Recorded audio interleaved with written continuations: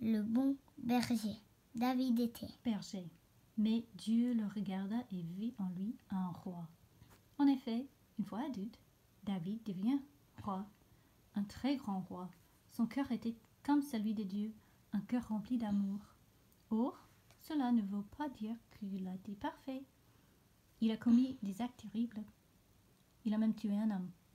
Non, David a gâché une grande partie de sa vie. Mais Dieu peut utiliser le plus grand des gâchis et l'intégrer dans son plan. J'ai besoin d'un cœur nouveau, Seigneur, car le mien est plein de péchés. Lave-moi de l'intérieur. Dieu entendit la prière de David.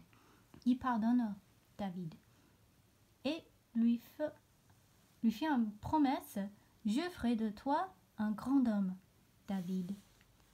Et un jour, un roi naîtra de ta descendance. Il guérira le monde entier. Saches-tu que David écrivait aussi des chansons?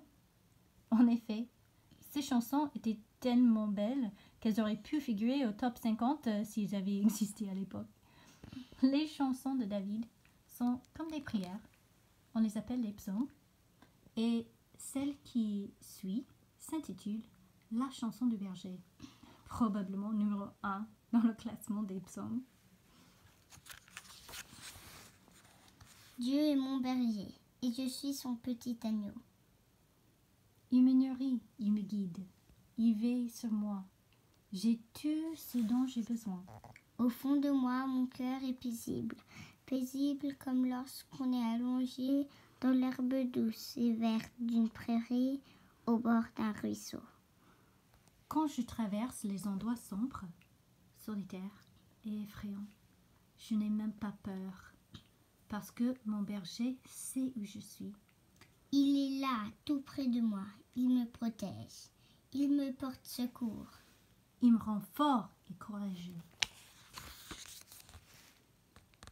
Il prépare des choses extraordinaires pour moi, rien que pour moi, tout dont j'ai toujours rêvé. Il me remplit tant de bonheur. Mon cœur en déborde. Partout où je vais, je sais que l'amour de Dieu infini, inlassable et incassable, immuable et immortel me suivra. À travers cette chanson, Dieu montre à son peuple qu'il l'aime. Il verra toujours sur lui, comme un berger aime ses brebis.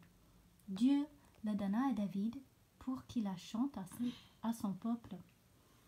Et un jour, Dieu alla faire une chose qui inspirait des milliers et des milliers de nouvelles chansons.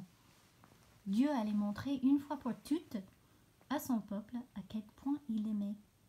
Un autre berger viendra, viendrait, un berger encore plus grand.